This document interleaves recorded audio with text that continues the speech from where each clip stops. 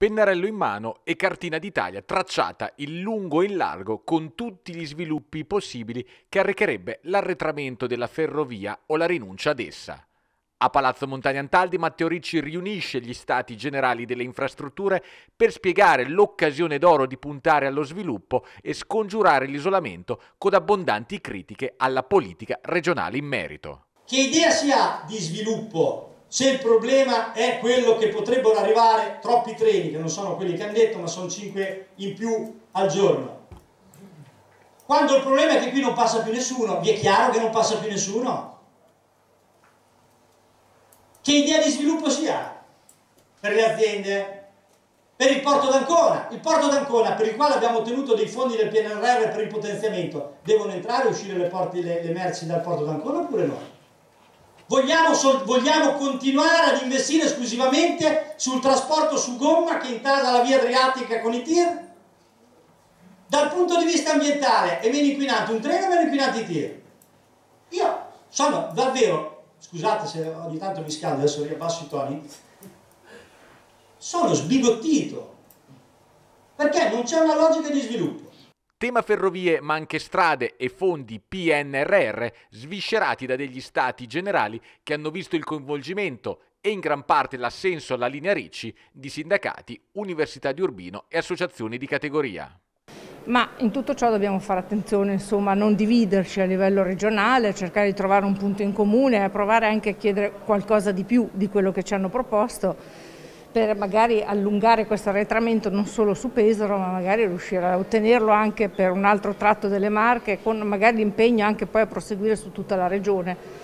Perché forse questo è il momento in cui noi possiamo veramente ottenere una cosa molto importante, molto importante per Pesaro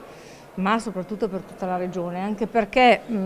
siamo la via di passaggio verso il continente Africa che probabilmente nei prossimi 10-20 anni sarà il fulcro dell'economia perché la Cina è arrivata in Africa, è piena di materie prime, c'è tanta manodopera, per cui noi siamo il collegamento fra, fra l'Europa e l'Africa. Penso che siamo in un momento storico in cui forse come non mai ci sono tutte quelle risorse che permetteranno di costruire eh, non soltanto la città di Pesaro ma anche tutto un territorio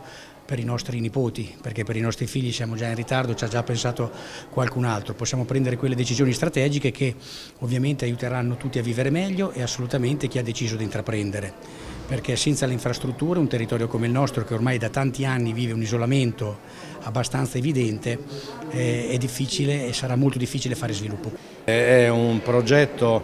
eh, sul quale siamo molto favorevoli, a condizione che ci sia un quadro d'insieme del sistema infrastrutturale della nostra provincia almeno.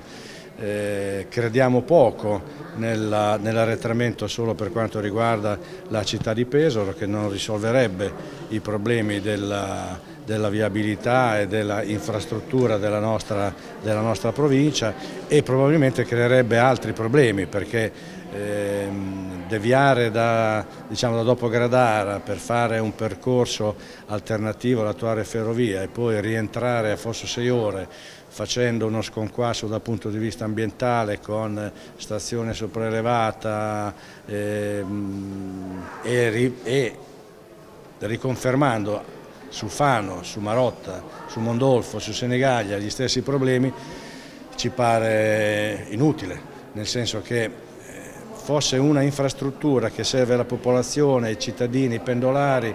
e, e mm, saremmo anche d'accordo. È invece una infrastruttura che serve il trasporto merci. Io credo che si debba cominciare da Pesaro e quindi non abbandonare il miliardo e 200 milioni circa che sono disponibili o comunque i 5 miliardi che sono stati previsti nel bilancio dello Stato, ma eh, prevedere, immaginarlo come l'inizio di un percorso che almeno per tutta la provincia preveda l'arretramento ferroviario.